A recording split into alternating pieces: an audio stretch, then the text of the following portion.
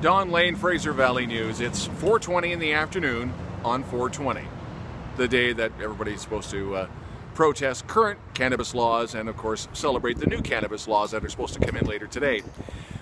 Obviously, Vancouver is going to be the flashpoint, and uh, Sunset Beach is where all the, the protests are supposed to be. So we thought, well, what's going to happen in the Fraser Valley? Well, we checked with UFV, and the University of Fraser Valley and Abbotsford and Chilliwack don't have anything. Abbotsford doesn't have anything. We touched base with the City of Chilliwack and Parks.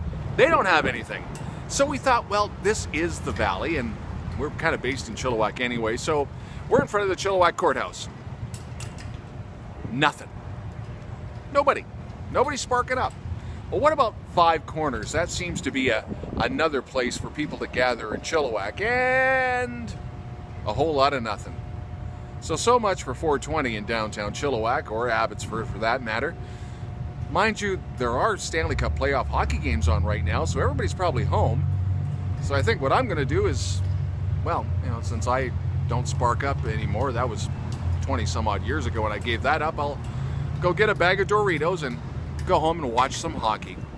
So much for 420. Don Lane, Fraser Valley News.